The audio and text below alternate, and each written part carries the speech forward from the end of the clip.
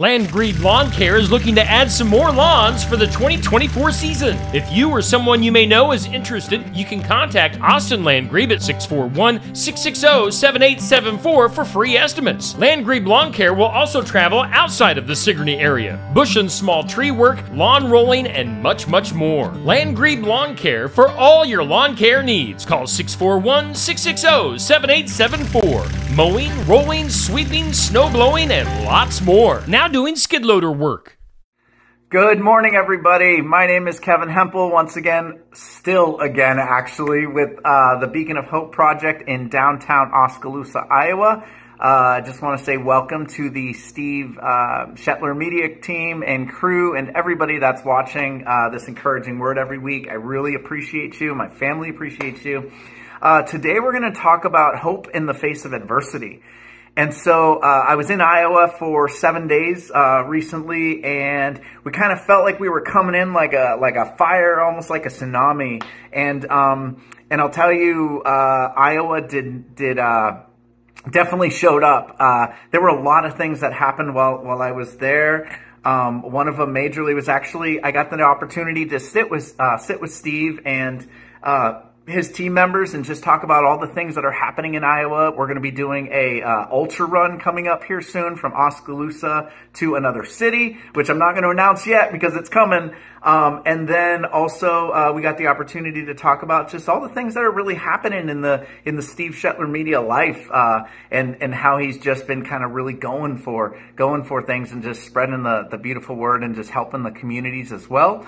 Um, Saturday, Sunday was amazing. Spent some time at church with some friends and uh, uh, got to meet, have a lot of great meetings there as well. And then Monday morning came about, and for the Beacon of Hope project, uh, we got the opportunity to launch a Facebook uh, post. And in the post, it talked about how the youth were uh, going to be able to come together and help design a uh, the basement part of the building.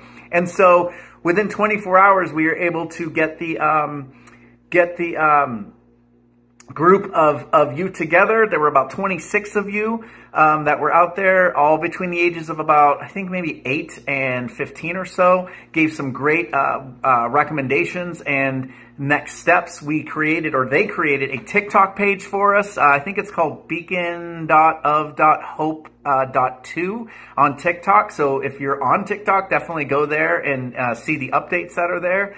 Uh, and then now the youth are working on a website for the Beacon of Hope project uh, and designing, continuously designing the uh, the downstairs basement area. We don't know what it's going to look like. We don't know who it's going to be used for. We don't even know if the youth are going to use it. We have no idea. But that's like the greatest part about this is that when we as adults can step out of the way and we allow the, the, the children of the community to and the youth of the community to express what they want um, within reason, right, within safety reasons, then uh, they have the opportunity. You all have the opportunity to get what you want. And so, how cool is that? Like, why would you not want that to happen? It seems pretty fun to me.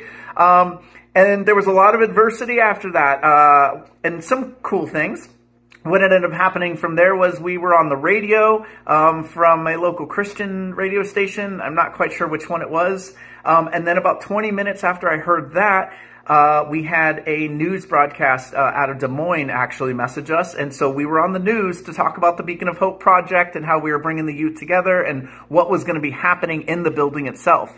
And so um, that was really fun. So if you saw the Facebook post, uh, I think it was KCCI on Tuesday night between 5 and 6, I think they aired it, um, just talking about what, what opportunities we have there um, in that building for the community. Uh, and then I believe it was on Wednesday or Thursday, we had a, um, a uh, GoFundMe page launched for the rooftop. So for those of you that have been paying any attention at all, we need a new roof on this building. It's uh, leaking every time it rains. And so there's some damage that's happening to the inside of it. And we know that, um, that we need to get the roof replaced so that once we get the roof replaced, then we can start drying out and then we can start working on portions of the building uh, so that we can open up this thing for occupancy in some cases. Um, and so, yeah, so we've got that. But one of the most difficult challenges or points of adversity we had this week was that I actually jumped on a plane to, um, to fly back to California for a couple days and I flew from Des Moines to Denver. And the minute I landed in Denver, um, everything got canceled for me. So I ended up spending seven hours in the Denver airport walking around and praying um, and just thinking about the beacon of hope and thinking about my family and all the community members. And then I jumped on a plane at about 1030 or so at night and flew to Phoenix, Arizona. Ended up staying in Phoenix for about eight hours overnight and then jumped on a plane at uh, 7 a.m. to fly to San Francisco. Um, the crazy part is, is that I was in a line in Denver with a couple hundred people that were pretty upset that their flights got canceled for one reason or another.